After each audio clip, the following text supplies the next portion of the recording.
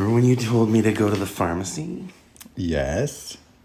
Um, they're out of my ADHD medication for five days. Oh my god. It's gonna be a fun week. I'm going to my mother's. Through sickness and in health, motherfucker.